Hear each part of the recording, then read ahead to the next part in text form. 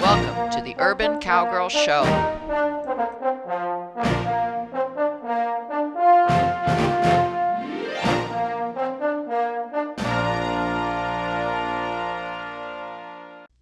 Farrier Michael Branson trims hooves of my three mini zebus. We're cutting the dew claws of my bull Rusty for the first time ever. And the feet too. and trimming his feet. You can see how many people it's taking, and notice our shield. Kyle over here has a garbage can lid in his right hand in case Rusty wants to use his horns as weapons. It's his nature. Where's my shield? I'm just kidding. we, we do have set up here a portable panel that could be a squeeze chute. But it seemed easier at this moment to just see if Rusty would lift his front legs for those dew claws and for trimming the hooves.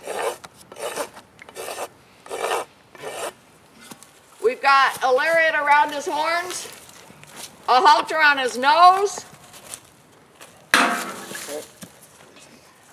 These are portable panels without uh, posts in the ground, but they seem to be holding. My farrier Michael Branson has some real sharp, very nice clippers. And we've never before trimmed the dew claws, never thought it was necessary, but Michael pointed out that they can get hooked on things just like they do on dogs. So it's best to keep them trimmed. Will he give the ooh? Kind of. Aha. Will he stay in balance? Will he try to pull back? He's trying to pull back.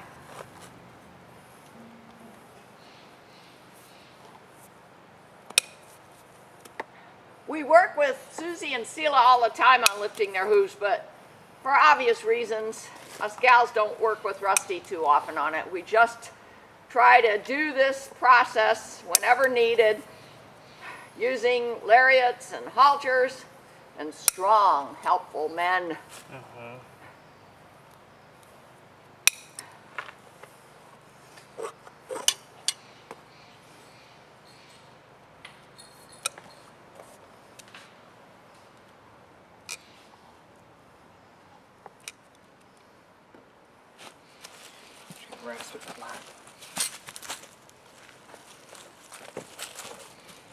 Time for the rasp. Will he lift again? Yeah.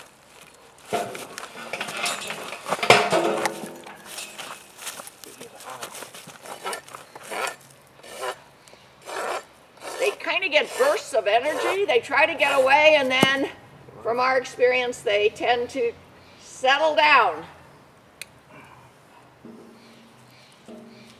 He's actually foaming a little bit at the mouth, probably stress. Back feet. Uh-oh, back feet. For the back feet, I really think we should use the squeeze chute. Okay. Uh, Okay, so Aaron, uh, stop the camera and help us get Rusty's head over here and the, the uh, panel squeezing him toward these uh, metal, these other metal portable panels. Okay, our squeeze chute is keeping him against the, the portable panel, the stout ones. The white panel is also steel, but not a stout. I was worried that he'd get his horns stuck in these rails out of stress, but he seems to be complacent at this moment.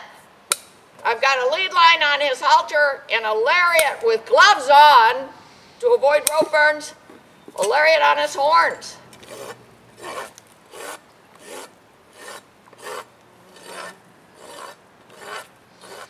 You can get squeeze chutes for minis, but it's not easy, especially on the West Coast. So we've just made do, as we usually do, with the equipment that we can find and assemble. Now, okay, he's trying to kick out now, but from our experience, he'll stop kicking. Yeah, just a reaction.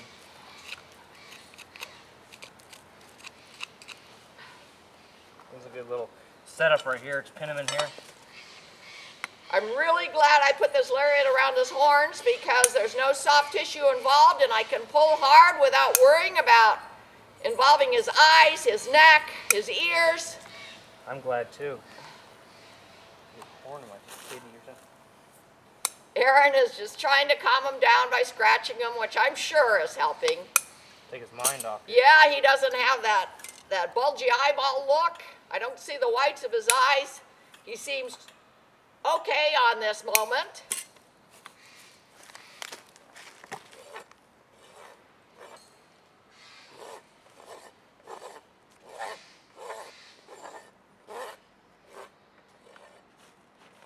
He's good.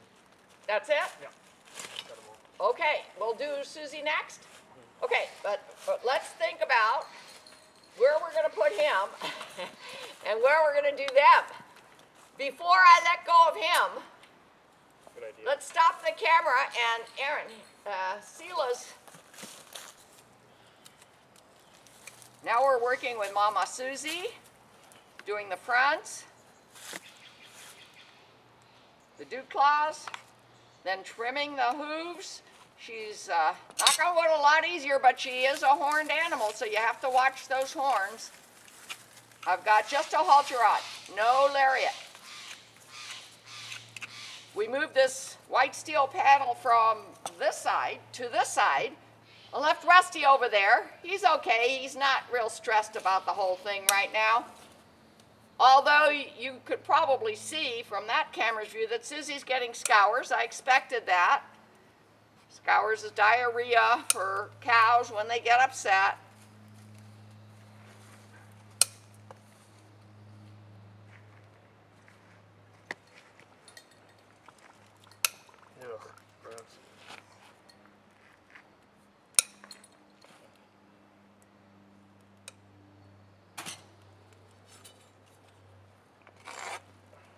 White portable panels come from Corrals to Go, and they are nice and strong since they're steel, but we only use them for temporary fencing because they do rust. I, I'm sorry to say they do rust, and we have to constantly clean off the rust and the flakes and paint them again. So we keep them under cover unless we have a particular reason to use them. Long foot.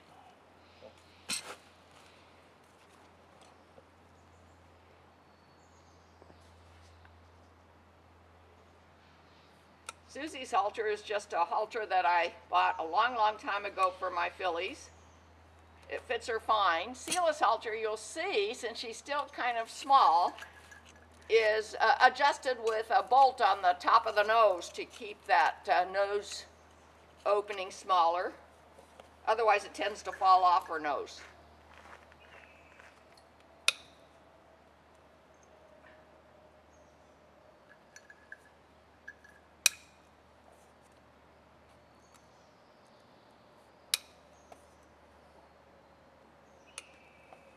Definitely not have to know where to cut with these guys. What are you? Um, what? What's your uh, signpost there? What do you? How do you figure out where to cut them? Do a lot of them. no, I don't know. Uh, you just know, like as a farrier, but if I were to tell somebody else, just you can see all the exterior hoof wall sticking up above the sole. Just nip all the extra off. Snipping off all the extra hoof yeah, wall yeah, above the sole. It's higher than their sole, but Do you trim any other cows, Michael? yeah, Yeah. Yeah, everything. Uh, I uh, I'm curious. when you have a chance, tell me where there are cows that you trim, because I don't have too many buddies around here that I know that have cows. They're not like this. They're like a real cow. Watch, uh, watch Rusty behind you. Okay, Yeah. good looking out. Okay, now we're ready for the back. There's like a rag. There's like. Is it off? Sure. Uh, uh, right. it's plenty right Huh? I It's have plain paper right towels. Okay, can you stop the camera? We're gonna wipe off the diarrhea and uh, put her in the squeeze chute. Yeah, and then I'll pull. We're good. Okay.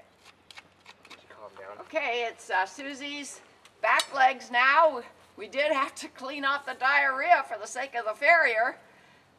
Keep paper towels around. We're using the squeeze chute to help keep her body against the fence on her right side.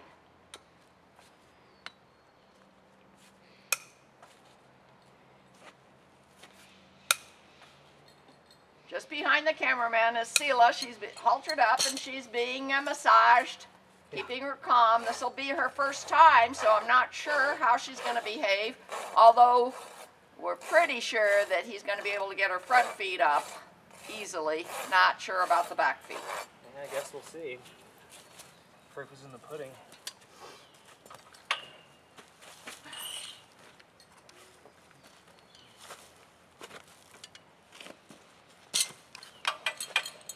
That burst of energy. And then she'll calm down. Yeah, and then she generally calms down, gives up.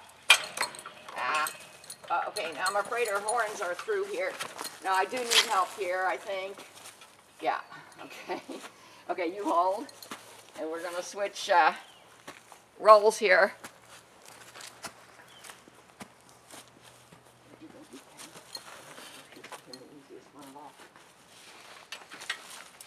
No wonder. Hold on, hold on, hold on, hold on.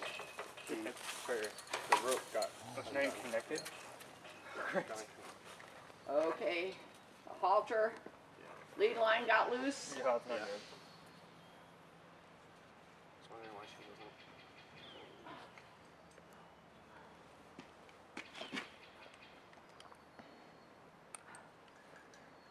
It's a carabiner, Yeah, it's a little rusted. A little bit rusty. Okay. Carabiner is, I got, uh, usually a pretty strong tool to use. Okay, will she let him lift? Long enough to clean out that sole. Damn it. There, you do that on video? Yep. Again, Rusty's behind you. That's fine. Mr. Rusty, Papa Rusty is staying nearby, but not being real aggressive. Guarding his harem. If you'll look on past Urban Cowgirl shows, you'll see that I had my vet, Kristen Wallace, give Rusty a vasectomy. I wanted him to uh, remain hormonallyable, but I didn't want to have him inbreed his daughter Seela.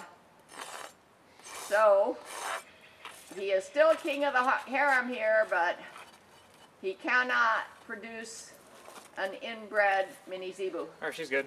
She's good. Okay, can, uh, Aaron, why don't you stop the camera? We'll put Seela in that vicinity. Okay, now this is Seela's first time in the chute. We don't want to really freak her out today, even if we don't trim her. That's okay. We just want to desensitize her to all these tools, this feeling, get to know Mike, the farrier. Good. Give her scratches and massages. We'll take this one tiny baby step at a time. If she starts freaking out, Mike, let's uh, just show her that it's not necessary to be afraid, to have confidence. Have her feet ever been picked up? Oh, every day for weeks we've been picking up her front feet. Her back feet we've been working on, but uh, she still resists. One thing to pick them up is another thing to trim them. Yeah. But she, knock on wood, so far, she seems okay. You want to hold?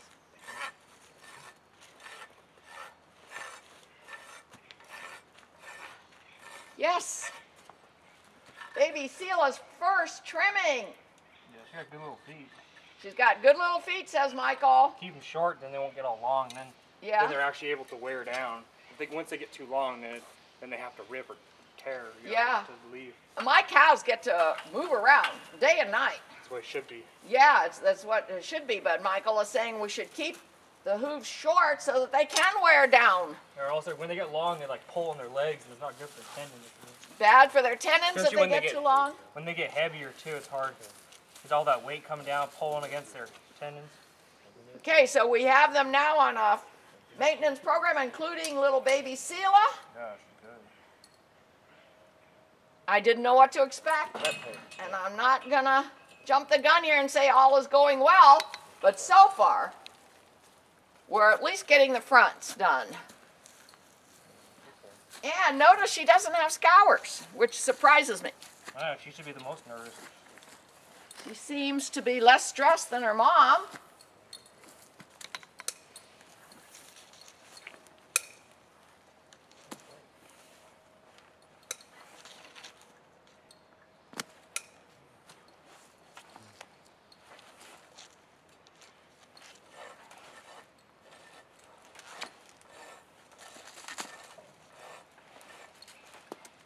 These are our little mini cows, so when I lariat them, I usually use this little mini rope. It's just a kid's rope. Okay, will she let us do the top? Does anybody need a glove? And my, my concern is that she's going to get a, a foot in her stress hooked around a panel rail. So let's, uh, Around my face. uh, I don't think she can kick you that high. Well, maybe she can. Okay, let's, if you just lift it slightly, maybe she'll oh. settle down, maybe not. Maybe we won't do the backs today. Let me just. Oh, it's okay.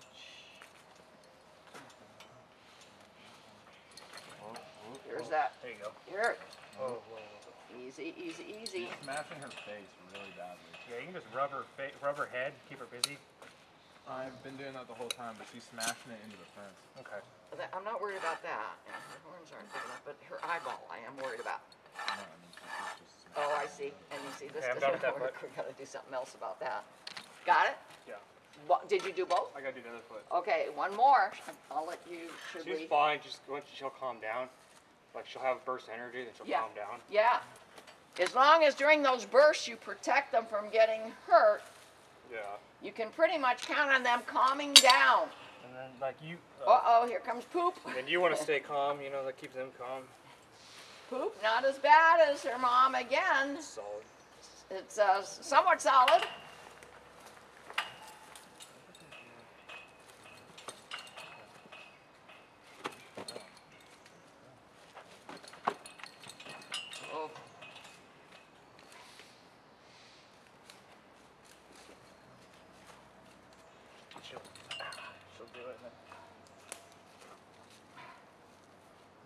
Should I, uh, like a surgical nurse, hand you your tool? Yeah, she's fine.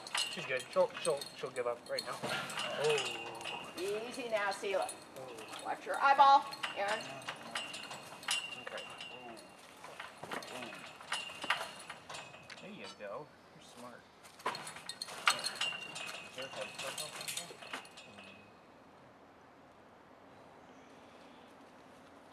Twenty seconds. Once she calms down, it doesn't take long. Takes longer just to get the foot. A little bit of rasping. Alright, she's good. Seela got her first hoof trimming. Yeah, I was- Okay, take the no big deal. halter off. We'll let them out with their papa. Yeah, all their feet are level. Dew claws are down. How often do you think we're gonna have to do this? We'll have to take a look and see. We'll Well, just watch. With these, you know, because we've never done them, we'll have to eyeball it, see how they're wearing down. Right. Depends. It depends how much they run run around, you know. They run around a ton. And probably in the summer, they would wear down more if they were if they were trimmed, yes. because the ground's harder. Well, now. except that I irrigate. Oh, never mind. so, yeah. That's that. Summer, fall, winter, spring. It's always green around here. Well, now we'll let uh, Seela and Suzie go to their papa Yeah, they're and uh, clean up. And I hope you learned how to do it if you need to do it, because today it was a successful hoof trimming of my mini Zebus. And that's Sonia Soklo, the Urban Cowgirl, triple W, urbancowgirlchannel.com. Michael Branson, my farrier, from Boulder Creek, California. Worming and fly control for mini zebus.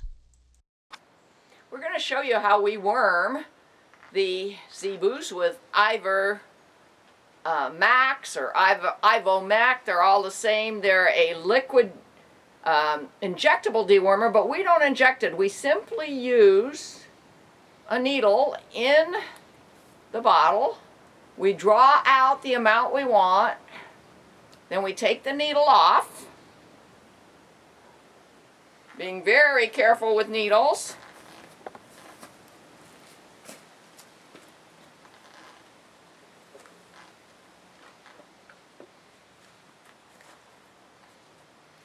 Then with the syringe, and this is Rusty. I think he'll be okay. I might have to go and lariat his horns.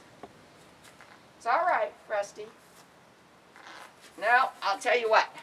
He's not sure why I'm approaching him, so I'm using that tried and true protective trick of a garbage can lid.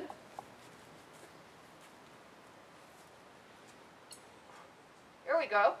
Behind his hump, I just squeezed out the liquid. We'll show you from a different angle when we do Susie and or Seela. So that's worming. Now what else uh, do we do on a regular basis every three to six months? Depending on season. We're not going to do it today because it's almost winter. Uh, but I found out in the middle of this summer by going to my Zebu Digest that Cylence, C-Y-L-E-N-C-E, is a really good pour-on insecticide for cows, not for horses, not designed for horses. When we do Cylence, we have to follow strict instructions which are provided on the back of the Cylence container. Uh, tells you a whole lot about how to be careful when you pour this insecticide on. In some respects, we almost uh, feel like we have to have a hazmat suit on. Uh, we just don't want to get it on us, but properly poured on properly poured on the cows, it does do wonders. We do it every three weeks during the fly season. We wear gloves. We wear clothing. We wear safety glasses. And uh, we follow strict instructions on directions of use. And how to apply. To use the package dispenser, hold the container upright, remove the cap from the dosage chamber, and gently squeeze the sides of the bottle to fill the chamber to the desired dosage. Apply the required amount of solution directly along the top of the back and top of the head of the animal. So we do that. We do that every three weeks or so in fly season. We put netted fly masks on our cows during the day and take them off at night. They get pretty good about letting you handle them. And uh, we size them depending upon the cow. Some Sometimes I have to take a given fly mask and go to my sewing machine, make it a little smaller, a little more narrow. Uh, but we're pretty much able to, without using traps of any sort, without using powders or, or regular sprays in the cow pen, that kind of thing, we just uh, apply this liquid to their backs. And for the Ivomec, similar. We do it every three to six months. And uh, if I see a constant, consistent diarrhea, then I'll do it more often. But lately I haven't had that problem. I'm uh, happy with the way these two uh, products work to help give my mini Zebus comfort year round. Now we're going to turn off the camera, we're going to get the heifers out here and uh, do the, the Ivomec with the heifers. Here we go, uh, 4 cc's for Suzie. We let Rusty out. Susie's going to walk away. It's also 4 cc's for Seela. So whoever lets me walk up to them Again, we could have haltered them, but we didn't feel it was necessary. Let's see if Seela will let me walk up to her. Or Sue's her mom. It's all right. It's all right. It's all right.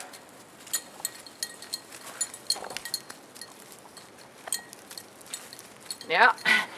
Well, there. I did it on Seela. You can do it pretty quickly.